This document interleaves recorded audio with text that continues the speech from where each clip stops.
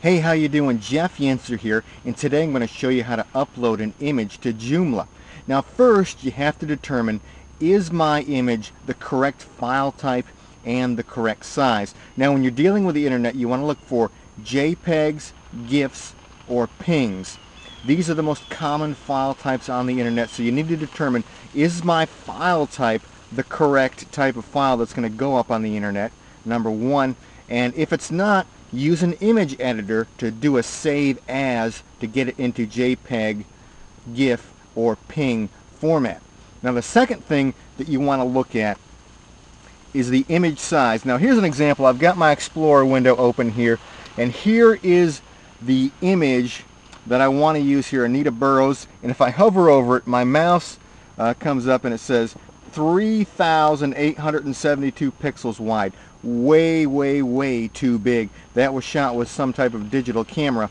Now, your ideal size for the internet, you know, average, what I average is between 100 pixels wide and 300 pixels wide, depending on if I want a small, medium, large image, somewhere in that size range is what I shoot for.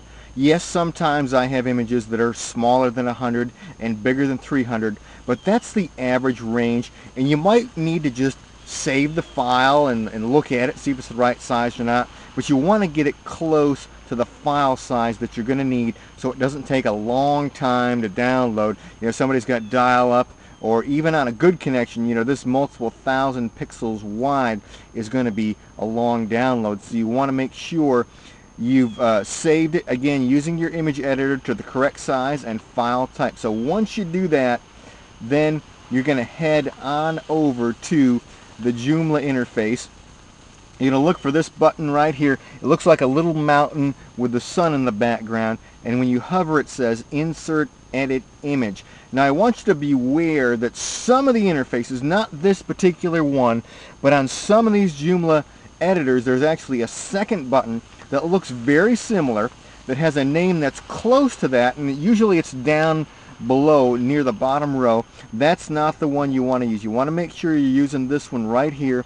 That says insert edit image and it looks like that. So I'm just going to click on that and bring up my window and come over here to upload and I'm going to hit browse and I have previously saved this image in a 100 pixel size now notice I've used uh, Anita 100. I've shortened up the file name, made it a short, easy to remember file name without capital letters or dashes or uh, too much of that stuff. Sometimes I use a dash in there.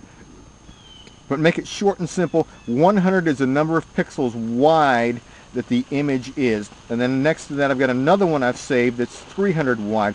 I'm going to pick the 300 and I'm going to go ahead then and hit open and I need to make sure I hit send it to server. Very important here. Don't come down here and click OK. It'll, it won't happen. You've got to hit send it to server and then it comes up and you click OK. You come to this screen. If you want to adjust the size any further, you can. But again, like I said, if it's a big change in size and you're making it smaller, best to save it as a, a different file so that it's small and uses up low bandwidth. Now, I like to come down to H space and V space right here and put in a number like 7. You know, sometimes I'll use 3 or 9, but seven's a good average.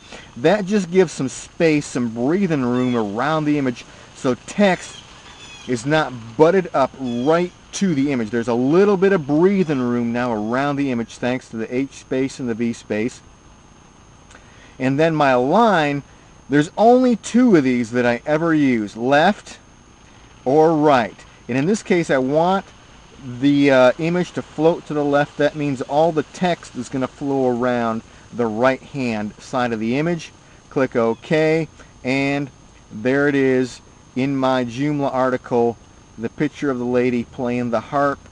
Very good and that's about it. And I'm going to come over and hit uh, save and I'm all set. Thanks for watching.